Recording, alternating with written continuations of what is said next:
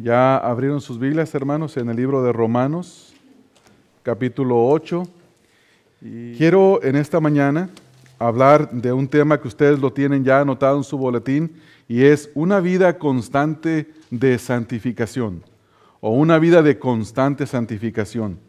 Eh, el tema es la santificación, pero antes de, de entrar directamente al estudio de Romanos capítulo 8, que es el pasaje que he elegido para este estudio. Y la semana vamos a estar viendo Gálatas capítulo 5 que habla del mismo tema.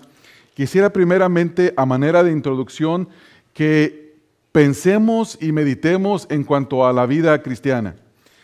Ah, tanto la salvación como la santificación de nuestras vidas son la obra soberana de Dios. Dios es el que nos salva y Dios es el que nos santifica.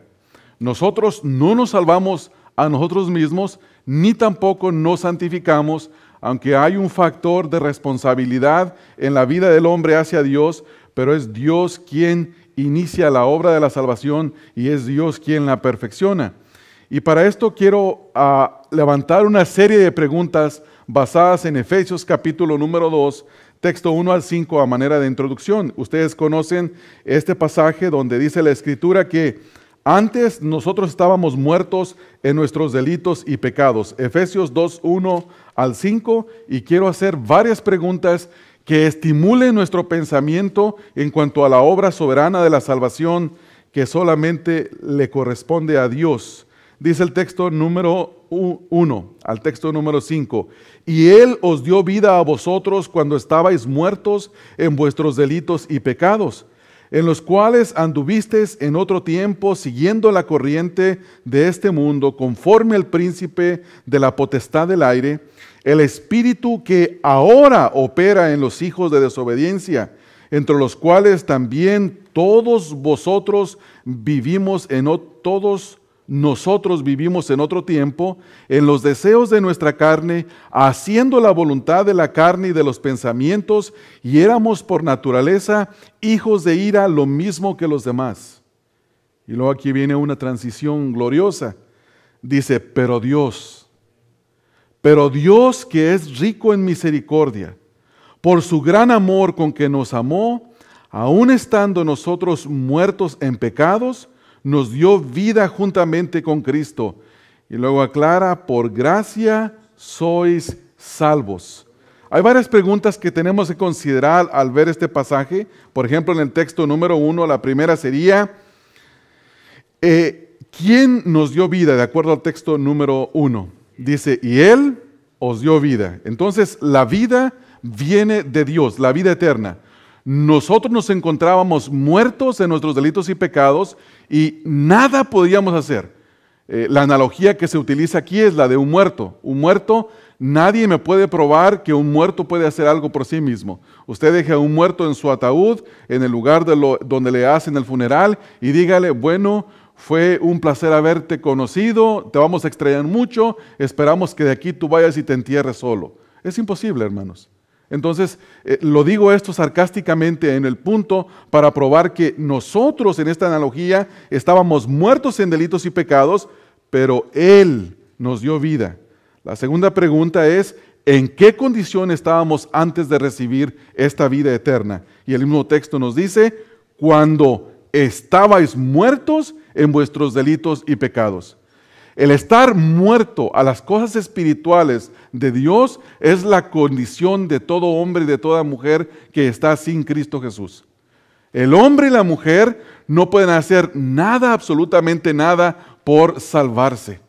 Esta semana yo les comentaba a mis hermanos el viernes, eh, a ustedes en el estudio bíblico, les decía que escuché a una persona decirme que le estaba pagando 50 dólares a uno de sus hijos para que leyera la Biblia porque veía que el efecto de la palabra de Dios era bueno en la vida de las personas. Y yo le digo, ni aunque le dé un millón de dólares va a poder hacer nada en la vida de esta persona porque está muerto en sus delitos y pecados. Es imposible, es imposible hacer algo por sí mismos. Y el texto nos dice que es Dios quien nos da vida y que nosotros estábamos muertos en nuestros delitos y pecados. Texto número dos. Dice, en los cuales anduviste en otro tiempo siguiendo la corriente de este mundo, conforme al príncipe de la potestad del aire, el espíritu que ahora opera en los hijos de desobediencia. ¿Cuál era el principal objetivo de nuestras vidas antes de venir a Cristo, hermanos? De acuerdo al texto. Dice que andábamos en otro tiempo. ¿En qué? En nuestros delitos y pecados, de acuerdo al texto 1. ¿A qué seguíamos, hermanos? La corriente de este mundo. Si hay algo que nosotros como cristianos debemos de entender, es que este mundo va en una corriente opuesta a Dios. No va siguiendo a Dios, no va buscando a Dios, no procura agradar a Dios en ninguna forma. Este mundo camina en una oposición total a Dios. Y nosotros íbamos en esa corriente. Íbamos con ellos, hermanos. Ustedes conocen el dicho mundano que dice, ¿a dónde va la gente? ¿O a dónde va Vicente? A dónde va la gente. Eh, la gente se mueve para donde todo el mundo va. Y nadie tiene el deseo de buscar a Dios. Por eso dice más ah, en, en Romanos capítulo 3 que no hay uno bueno, que no hay quien busque a Dios. Que todos, no hay uno, no hay quien busque a Dios y todos nos hemos desviado. ¿Por qué? Porque vamos en una corriente opuesta a Dios. Dice, siguiendo la corriente de este mundo, ahora, conforme a los deseos de quién, hermanos. ¿Quién es el personaje que controla la corriente de este mundo, de acuerdo al texto? El príncipe de la potestad del aire. Este es un nombre para Satanás. Satanás es el príncipe de la potestad del aire. Es el que opera en este mundo. Los gobiernos de este mundo están llevando, están siendo llevados en una corriente que opera conforme a Satanás. Y así íbamos nosotros. Ahora aquí dice, le llama el espíritu que ahora opera en quiénes? ¿Hijos de quién? No hijos de Dios. Hay una frase, hay gente que piensa que todo mundo somos hijos de Dios. Todos somos hijos de Dios de alguna manera pertenecemos a Dios. No, el texto me dice lo opuesto. Este texto dice, dice que ahora opera en los hijos de qué? De desobediencia, hijos de Satanás, príncipe de las tinieblas, y ese era nuestro Padre. En el texto número 3, nosotros también leemos, dice el texto número 3, entre los cuales también todos nosotros, no solamente algunos. Y la pregunta es, ¿entre quiénes vivíamos, los deseos, la voluntad y los pensamientos de quién hacíamos, hermanos. En primer lugar, entre quienes vivíamos, de acuerdo al texto 3. Entre toda la gente, todos los pecadores, siguiendo la potestad, siguiendo la corriente de este mundo. Dice, entre los cuales también todos nosotros vivíamos, y luego dice en otro tiempo, en primer lugar, hacíamos los deseos de nuestra carne, no los deseos de Dios los deseos de nuestra carne, hacíamos la voluntad de la carne y pensábamos en los pensamientos de la carne y éramos, tiempo pasado, por naturaleza hijos de ira. Escucha la palabra por naturaleza. Esa es la condición en la que cada ser humano viene a este mundo. Yo tengo una sobrina que se llama Fátima, muy chiquita, muy hermosa. No es porque sea mi sobrina es una niña que uno la quiere estar fotografiando porque es muy bonita. Sale bien simpática en todas las fotografías. Pero esa niña es hija de ira por naturaleza. Lo mismo que todos los demás hombres. Todos los demás hombres. Por feo que se escuche. Entonces, ¿y de quién éramos hijos? Hijos de ira, hijos de Satanás. En el texto número 4 dice, pero Dios, esta es la transición gloriosa en la que solo Dios puede obrar y solo Dios puede intervenir. Pero Dios, que es rico en misericordia, por su gran amor con que nos amó, aun estando nosotros muertos en pecados, nos dio vida juntamente con Cristo. Por gracia sois salvos. En primer lugar, ¿quién efectuó nuestra salvación de acuerdo al texto 4, hermanos? Dios. No dice, pero ustedes cuando escucharon el Evangelio y tomaron su decisión y ustedes siendo movidos a arrepentimiento, mejor que otros, que eran más pecadores ustedes, ustedes teniendo algo bueno en ustedes mismos, respondieron, el texto no dice eso, el texto totalmente este pasaje excluye la obra del hombre, dice, pero Dios, que es rico en misericordia, ¿por qué nos salvó, hermanos? porque Dios es misericordioso. Nos dio vida juntamente con Cristo y luego se aclara y dice, por gracia sois salvos. Entonces la obra de la salvación es la obra de Dios.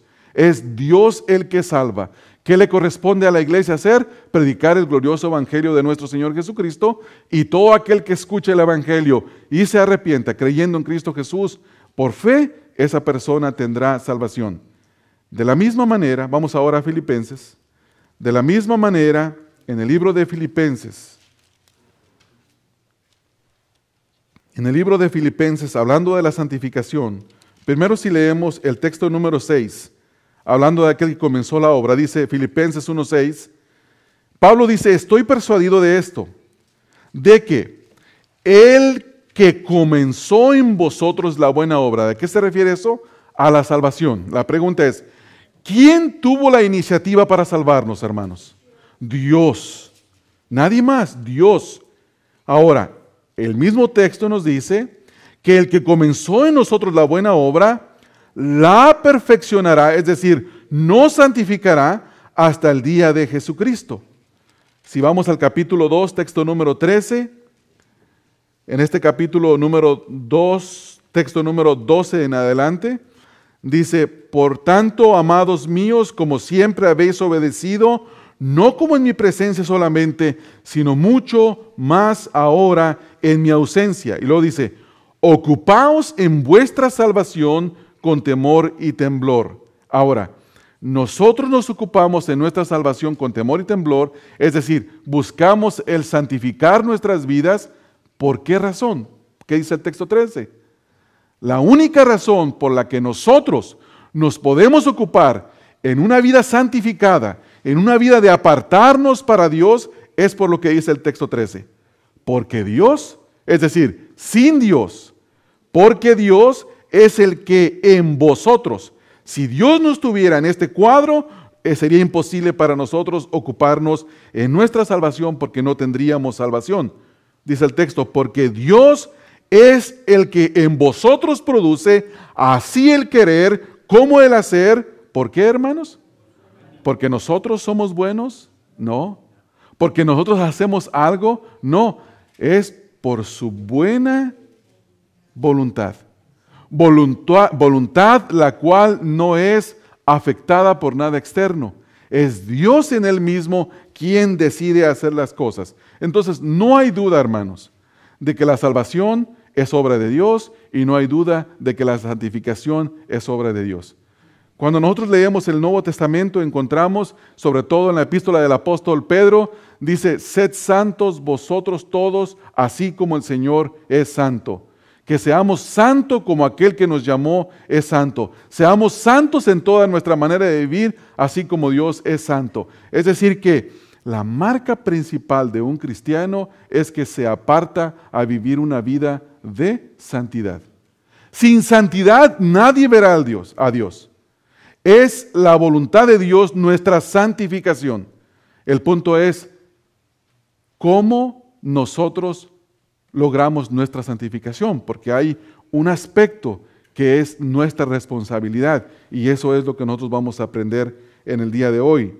Romanos capítulo 8, ahora sí hermanos, el pasaje que estamos estudiando, Romanos 8, y quiero observar del texto número 1 al texto número 13 tres cosas que puedo ver en este pasaje. No son las únicas que hay, no es, no quiero decir que es todo lo que hay y que nadie más puede ver nada, no, de ninguna manera. Pero hay tres cosas que yo quiero observar. La primera se encuentra en el texto número uno al texto número cuatro y es la explicación por la cual ya no hay condenación para los que estamos en Cristo Jesús. ¿Quién nos liberó y por qué nos liberó? Texto 1 al texto número 4. Después, en el texto número 5 al texto número 11, el apóstol Pablo nos da un contraste entre la vida del no creyente y la vida del creyente. Este pasaje, esta porción, sirve para aclarar a cada uno de nosotros cómo debemos de vivir. Sirve para aclararnos, para autoexaminarnos si el Espíritu de Dios mora en nosotros. Y si esto es así, veremos que nuestra vida ahora tiene un contraste con la de los demás y, con y en la manera en la que vivíamos nosotros antes. Y para finalizar, textos 12 al 13, nuestro tercer punto, y esto tiene que ver con una exhortación que se encuentra en el texto 12, a ser deudores de Cristo y no de la carne, es decir, a obrar conforme a la voluntad de Cristo. Y en el texto número 13 se nos dice cómo debemos hacer morir los deseos de la carne. Es un mandato. Entonces comenzamos texto número 1 al texto número 4. Texto 1 dice, ahora pues, ninguna condenación hay para los que están en Cristo Jesús. Este es un tema que se repite constantemente en esta epístola del apóstol Pablo a los romanos. Cada persona, cada cristiano que se encuentra en Cristo Jesús, ya no hay condenación sobre él, la condenación de Dios. ¿Qué significa esto? ¿Cuál es la implicación? Que toda persona que no está en Cristo está bajo condenación. Bajo condenación. Ahora, quiero aclarar un poco para nuestro bien qué significa que el texto dice, fíjese cómo el texto no dice, el texto no dice, ahora pues ninguna condenación hay para los bautistas.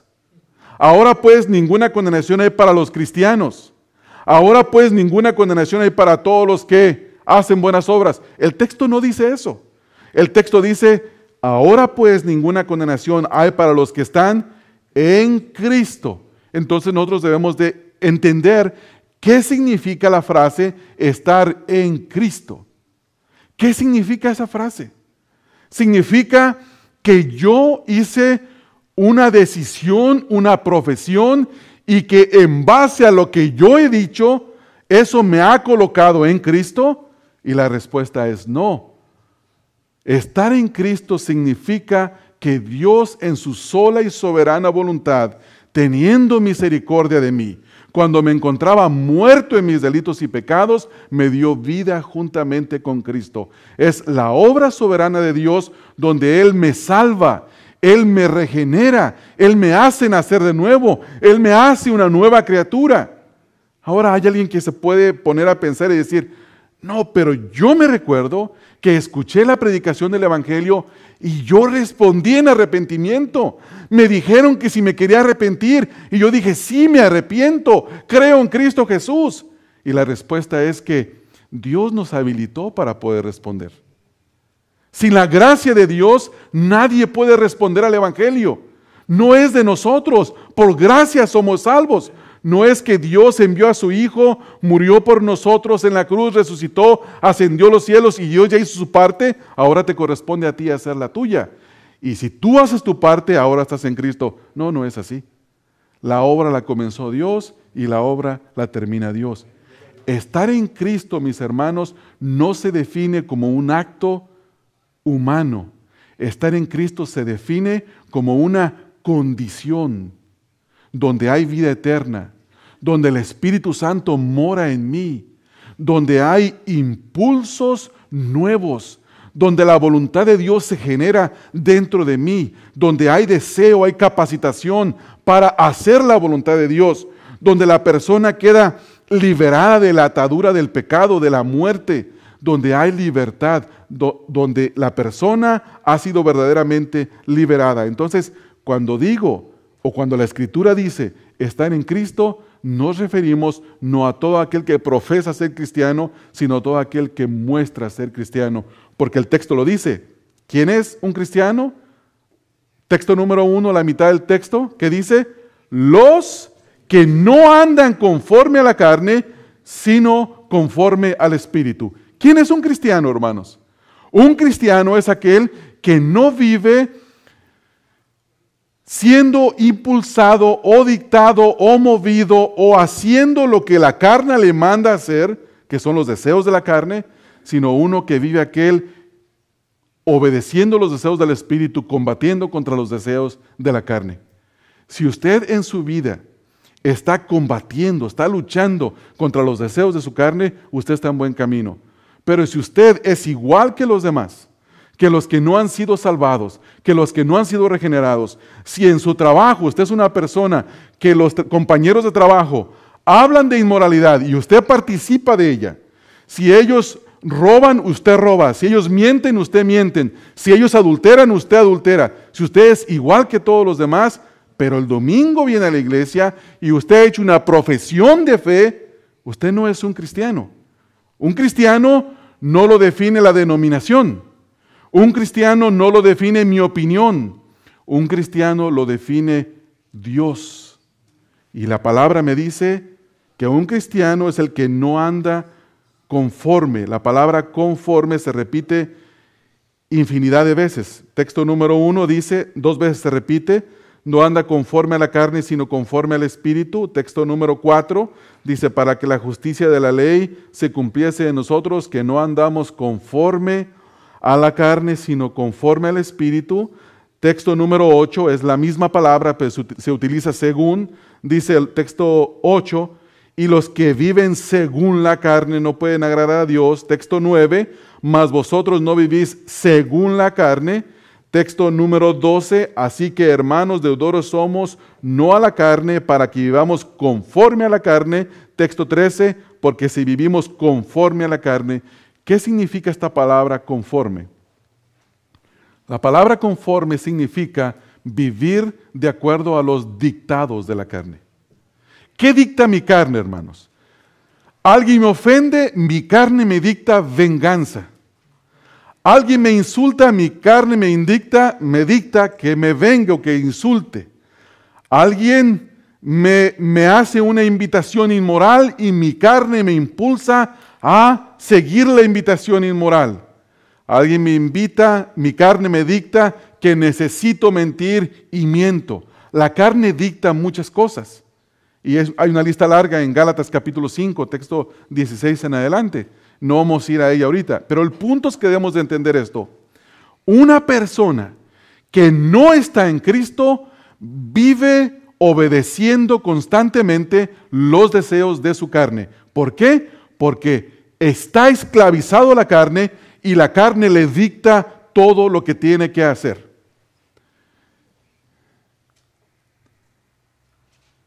Si hay algo que nosotros podemos ver entre nuestros familiares inconversos, y esto lo quiero decir como ejemplo ahora que estuvimos en México,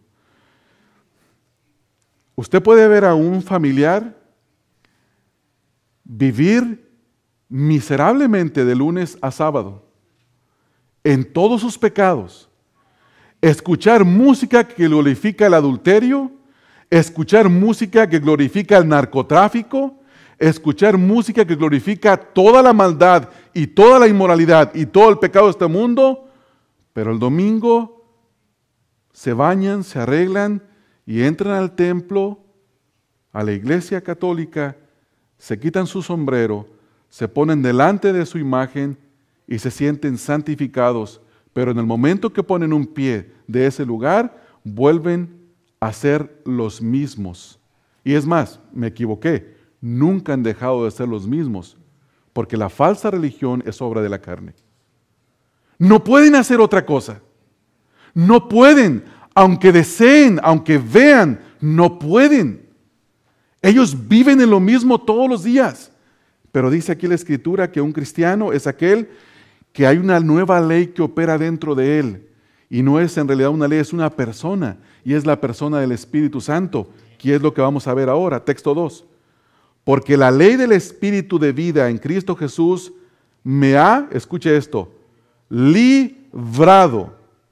¿Qué es lo que le ocurre a una persona que nace de nuevo, que se convierte?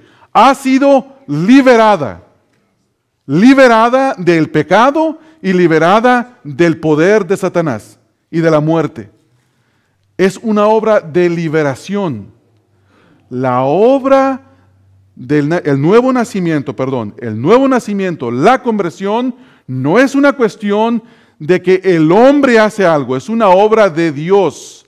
Y Dios solamente la puede hacer. Porque la ley del Espíritu de vida, es decir, la obra de Dios en Cristo me ha librado de la ley del pecado y de la muerte. Texto 3. Porque lo que era imposible para la ley, ¿qué es imposible para la ley? Salvar a una persona. La ley no salva, la ley condena. La ley dice que cualquiera que obedezca toda la ley vivirá, pero el que falle en un solo mandamiento, en uno solo, es culpable de toda. Ahora, ¿por qué la ley es incapaz para salvar? ¿Porque es mala? No. Pablo dice en 1 de Timoteo 1, dice, la ley es buena si se usa legítimamente. El problema está en lo que dice el texto 3. Porque lo que era imposible para la ley, por cuanto era débil, por la carne, la ley es débil por la carne. Nosotros no podemos sujetarnos a la ley. El mismo texto más adelante nos dice que la ley no se sujeta, eh, la carne no se sujeta a Dios ni tampoco puede. Y luego dice, Dios enviando a su Hijo.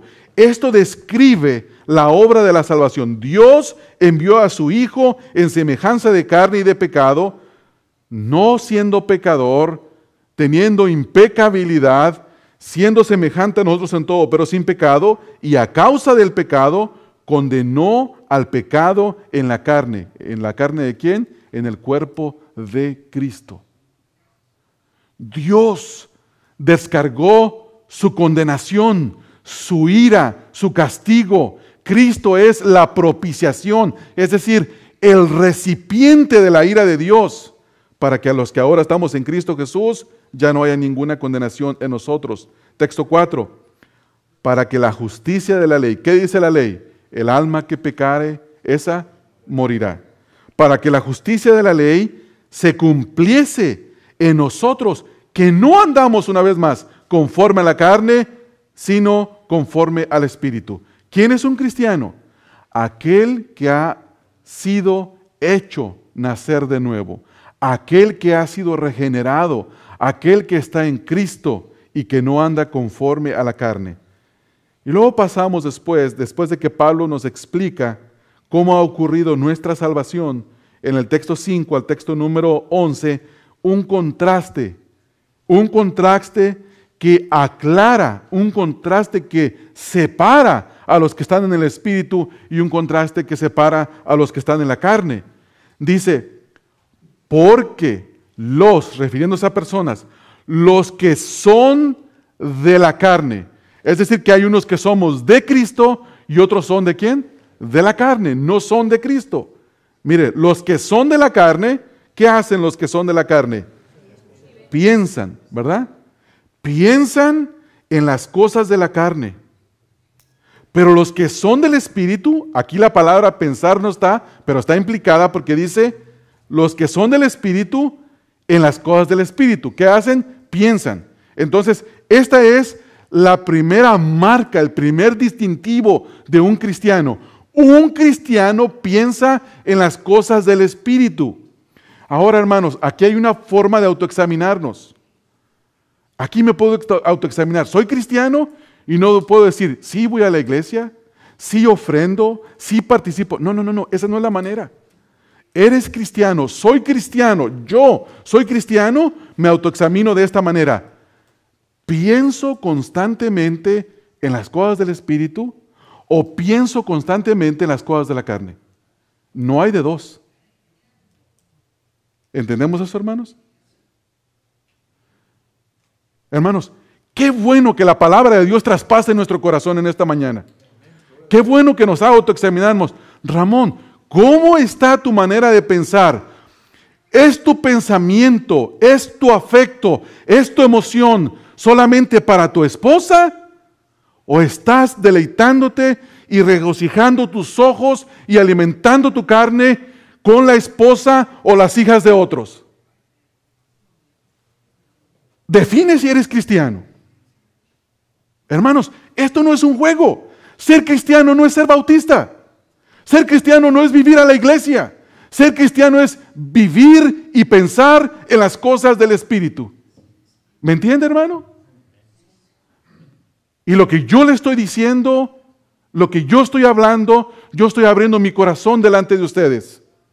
Y solo mi Señor conoce mi vida íntima, donde ustedes no pueden entrar, donde mi esposa no puede entrar.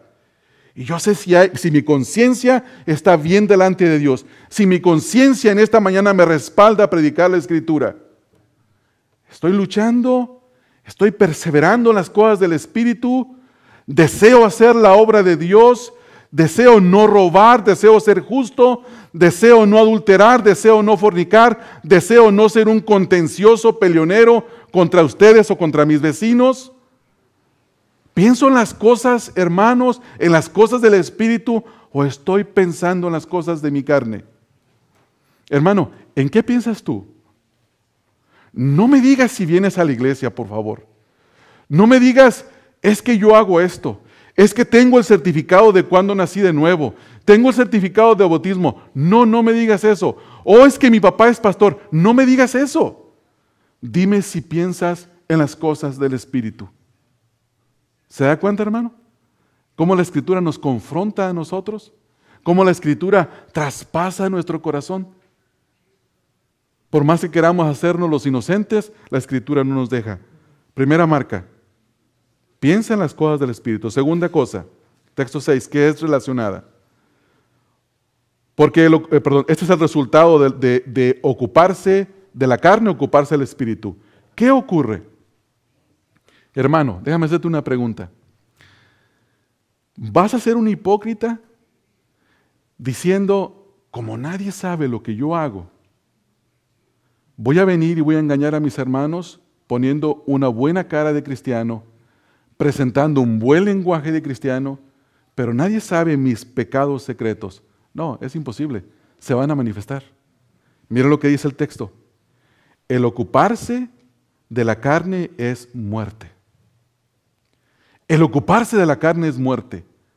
Todo lo que tú hagas conforme a la carne se va a manifestar. Pero el ocuparse del Espíritu es vida y qué, hermanos? Y paz. Es vida y paz. ¿Estás viviendo atribulado por la situación económica del país? ¿No sabes qué va a pasar en, los próximos años? ¿Ya tienes 70 años y tienes temor de la muerte? ¿En qué estás viviendo, hermano? ¿Tienes paz de Dios?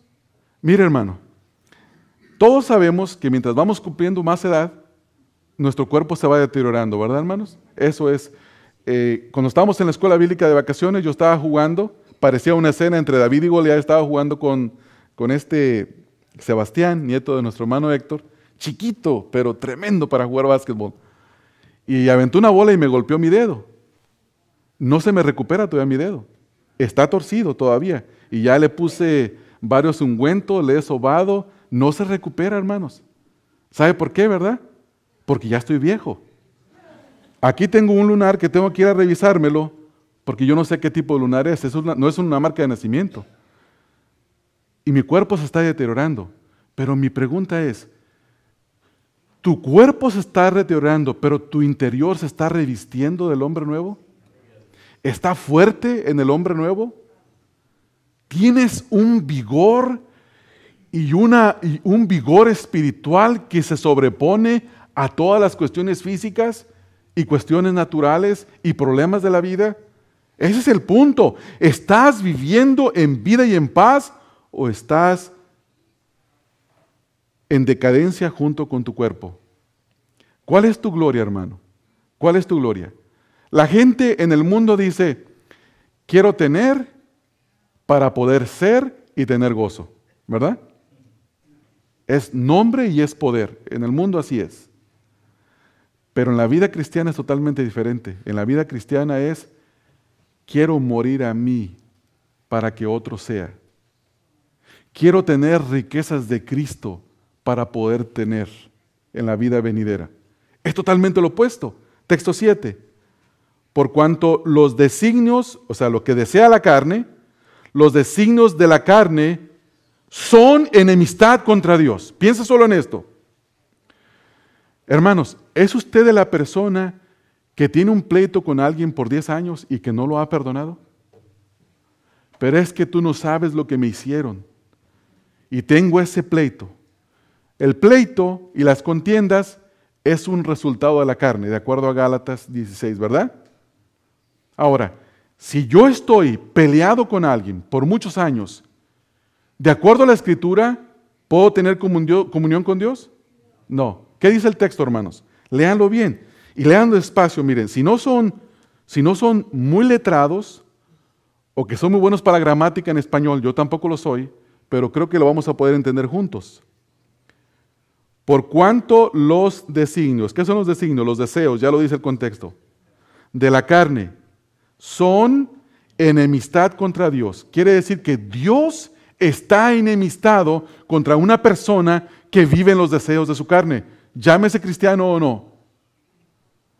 La voluntad de Dios no está con usted. Dios está airado con usted hasta que se arrepienta y perdone o lo perdonen. Entonces Dios se va a agradar. Y no quiero mencionar toda la lista de los pecados que podemos practicar. Pero el punto es, hay enemistad contra Dios. ¿Por qué? Porque la carne, escuche esto, es importante, no se sujeta a la ley de Dios, ni tampoco puede. Un inconverso no puede agradar a Dios. Escúcheme bien esto, hermano. Vamos a una aplicación. Hay varias personas que creen que si nosotros cambiamos el estilo de nuestra música, los inconversos van a venir y van a entender mejor y van a adorar a Dios. ¿Puede un inconverso adorar a Dios?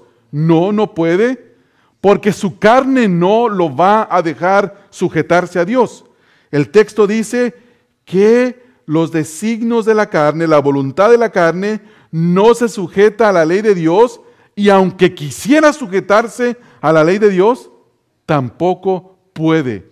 La palabra poder, esta palabra es la que el Espíritu Santo ejerce, ejerce en nosotros. Dios nos da el poder. Entonces, una persona sin Cristo no tiene el poder para poder sujetarse a Dios. Le es imposible. Y Cristo ha hecho eso posible en nosotros. Ahora está el Espíritu de Él en nosotros. Y luego texto 8. Y los que viven, me gusta esta frase, dice, no dice los inconversos o los que están fuera de la iglesia, no dice eso. Los que viven, estés dentro de la iglesia o estés fuera de la iglesia los que viven según la carne no pueden agradar a Dios. Vuelvo al ejemplo más sencillo. Estás enemistado. Tenemos cuatro hermanos que nos dirigen en los cantos. Si la hermana Miriam se pelea con la hermana Elvira o el hermano Juan Carlos se pelea con el hermano Rodolfo, ¿pueden guiarnos en la adoración a Dios? ¿Es agradable su adoración a Dios? No. Si ellos murmuran los unos de los otros, ¿pueden agradar a Dios? No. Si eres un murmurador, no puedes agradar a Dios, porque esa es una obra de la carne, no es una obra del Espíritu.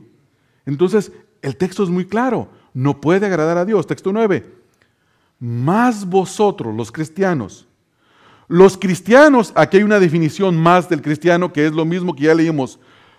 Los cristianos no viven según la carne, más vosotros no vivís según la carne. Entonces, ¿cómo vivimos? Según el Espíritu. Ahora, aquí está algo que me gusta porque Pablo no era inclusivista. Hermanos, todos somos salvos. Todos los que estamos aquí vamos a ir al cielo. Nunca pronunció esa frase Pablo. Bienvenidos a todos los regenerados. Ninguno de los que está aquí se va al infierno. No. Pablo dice, si es que Examínate. Mira lo que dice el texto.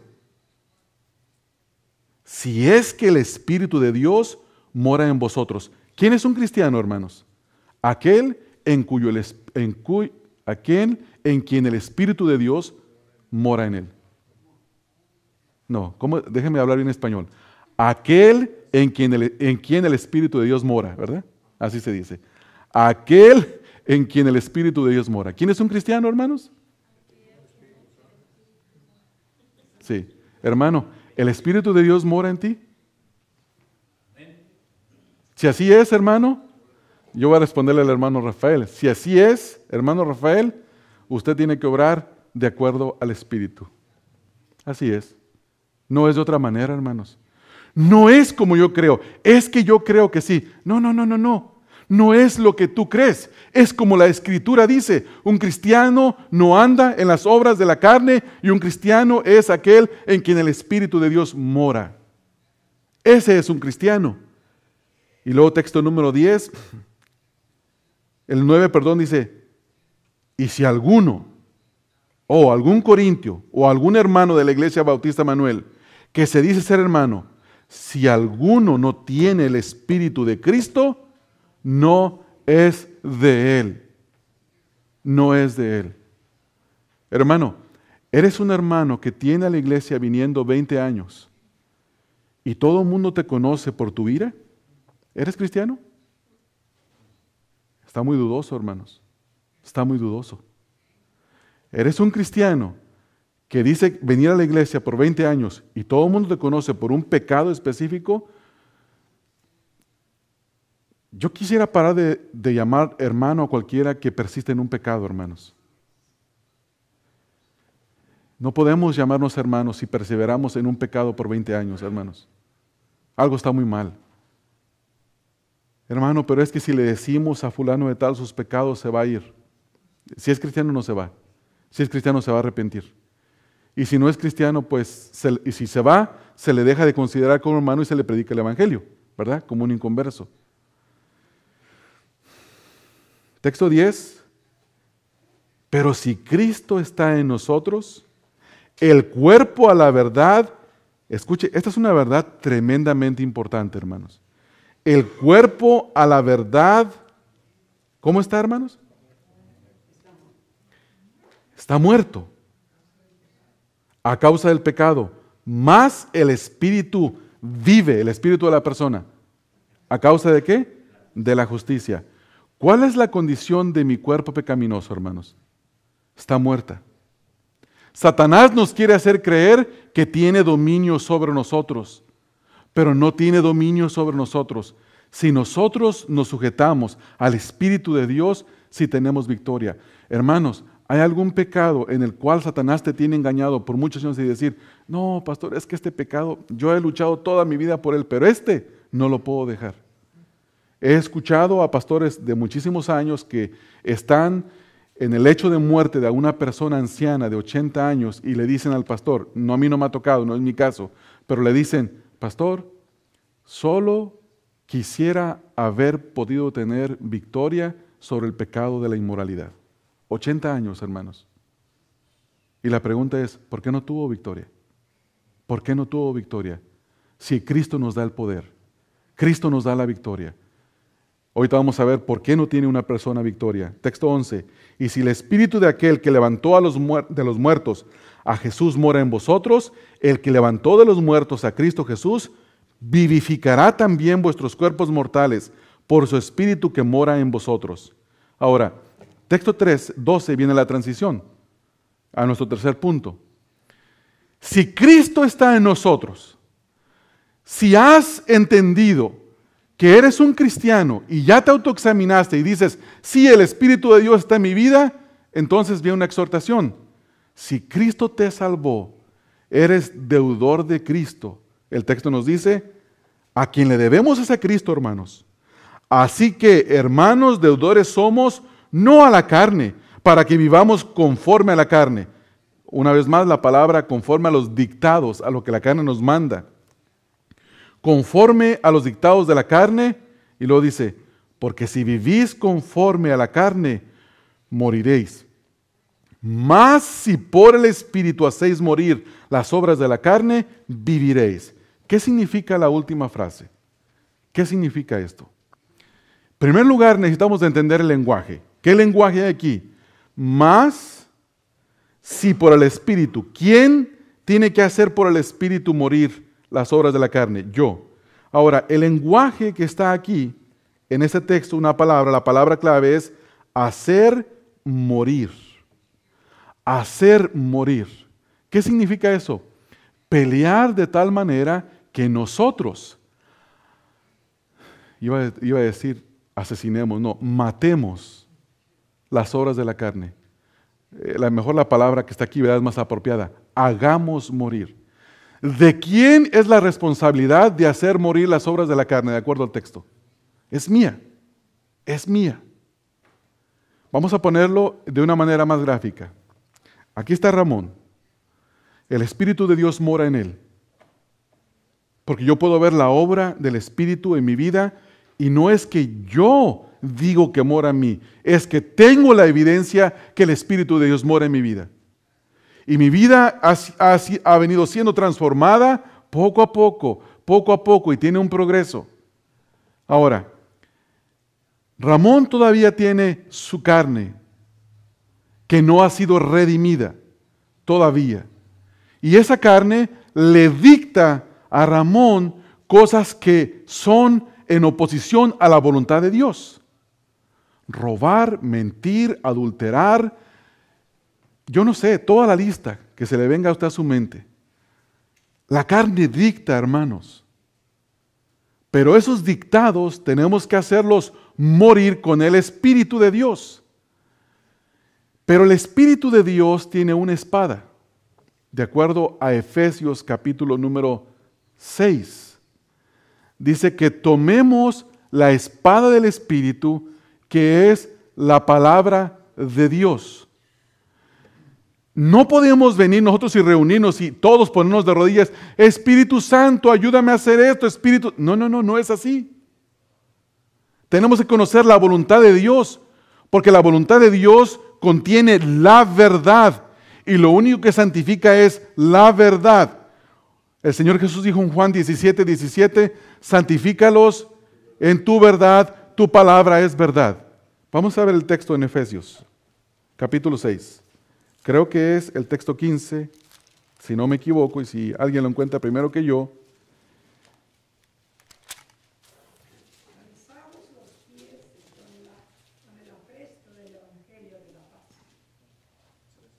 Mm, sí, era el otro, ese, tomad la espada del Espíritu, déjeme ver.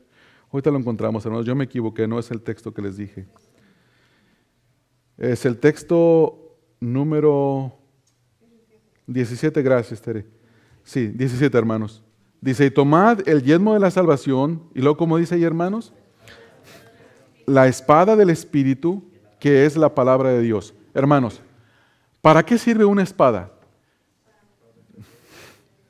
No, no es arma defensiva. La espada es una arma ofensiva. El escudo es, es defensivo, ¿verdad? Y la espada es ofensiva. Entonces, si nosotros tenemos que hacer morir, atacar, cortar las obras de la carne por el Espíritu, ¿qué debemos de darle al Espíritu, hermanos? El arma con la cual Él hace morir en nosotros las obras de la carne. Sí. ¿Qué dice la Escritura, hermanos, en cuanto a la inmoralidad?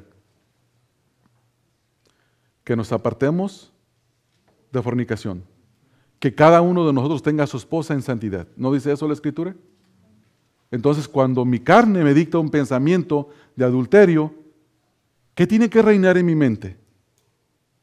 La verdad la verdad. La verdad es que a Ramón Dios le dio una esposa hermosa que es suficiente, que la tiene que amar y que le tiene que descargar todo su afecto, sus emociones, la tiene que proteger, la tiene que cuidar. Esa es la verdad, hermanos. La verdad es que ningún afecto mío tiene que salir para otra mujer, porque eso se llama adulterio. ¿Qué dice la escritura? Marido de una sola mujer. Ahora hay que tener cuidado de eso, porque exteriormente puede ser que Ramón sea marido de una sola mujer y como dijeron el otro día en el seminario haciendo broma, que tiene una sola mujer pero tiene ojos para todas. Cuidado con eso. Entonces, ¿cuál es mi lucha, hermanos? ¿Dónde está mi arma para pelear contra los deseos de mi carne? Hermanos, alguien por favor que me diga, sino la palabra. Es la palabra y ninguna otra cosa. No está en el pensamiento positivo, no está en las ganas que tú le quieras echar, no está en nada en ti, no está en ninguna otra cosa. tú tienes que tomar la palabra, tú tienes que pelear contra ese pensamiento, Tú tienes que hacer morir la obra de esa carne con la espada del Espíritu, que es la palabra de Dios. Esa es tu responsabilidad como cristiano, porque Dios ya te dio su Espíritu y Dios ya te dio la verdad. ¿Sí, sí me entiende, hermano? Entonces, una vida de constante santificación es aquella que comienza con esto. Sabe, escuche bien esto, que no hay ninguna condenación sobre su vida. No hay ninguna condenación. Pero también sabe, en segundo lugar, que una vida que no tiene condenación es aquella que vive sujeta a los deseos del Espíritu y no sujeta a los deseos de la carne. Y sabe que para poder lograr eso, el segundo punto, tiene que hacer el tercero. Saber que es deudor de Cristo porque Cristo fue quien lo salvó. Y que tiene que hacer morir los deseos de esa carne con el Espíritu de Dios. Hermanos, yo quiero que salgamos de esta mañana nosotros considerando la santidad, hermanos. Consideremos la santidad. Porque a santidad nos llevó el Señor. Hermanos, el Evangelio no es otra cosa más que aprendas a vivir una vida piadosa. Aprende a vivir una vida piadosa porque Dios te salvó para la santidad. No te salvó para que vivas una vida maravillosa. Eso no es cierto. Esa es una tontera, hermanos. Eso no es cierto. Aquellos que nos quieren persuadir a que vivamos de una manera en la que hay abundancia de dinero, es porque ellos quieren tu dinero. Es porque ellos no son hombres piadosos. Son hombres que no han aprendido que la raíz de todos los males es el amor al dinero. Y que la piedad acompañada de contentamiento es de gran ganancia. Ellos no han aprendido eso. A santidad nos llamó el Señor, hermanos.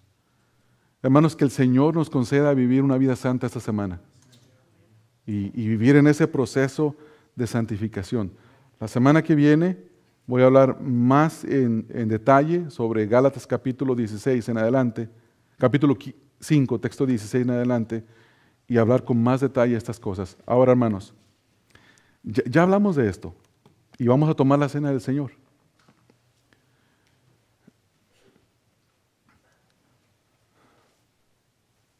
Y ha tenido tiempo de meditar un poquito en su vida. ¿Cómo anda? Los dictados de quién está obedeciendo, del espíritu o de la carne. Yo le pido que tomemos un tiempo donde reflexionemos y, y piense bien si puede tomar la cena del Señor en esta mañana. Y si no es así, pues que lo haga la próxima, el próximo mes. Pero necesitamos de ser exhortados, hermanos, y recordados de esas cosas constantemente, constantemente. Vamos a orar. Padre, yo te doy gracias porque tú nos concedes este gran privilegio, Señor, de saber que tú nos has llamado a la santificación. Gracias Señor por tu palabra. Qué, qué palabra no solamente hermosa Señor y confortadora, saber que no hay ninguna condenación para los que estamos en Cristo Jesús, sino que también saber con claridad que si estamos en Cristo hay una marca muy distintiva que es el vivir de acuerdo a los deseos del Espíritu y luchar contra las obras de la carne, Señor contra los dictados de la carne. No solamente luchar de tal manera que tengamos victoria haciendo morir las obras de la carne por tu espíritu y tu palabra, Señor, que nos santifica. Señor, yo deseo que esta porción de la Escritura santifique nuestras vidas, Padre. Santifícanos, Señor. Y posiblemente, Señor, no sabemos si tú nos llames a tu presencia pero alguno de nosotros puede partir a tu presencia, Señor, en cualquier momento. Señor, límpianos, Padre, te lo ruego. También te ruego, Señor, por aquellos que, por aquellos en quienes el Espíritu de Dios no mora. Señor, yo te suplico, Señor, que traigas vida eterna, Padre, y que salves, Señor, a través de tu glorioso Evangelio, y que produzcas en los oyentes el deseo de responder en arrepentimiento, Señor. Y que tú traigas vida eterna a este lugar. En el nombre de Cristo Jesús te ruego estas cosas, Padre. Amén.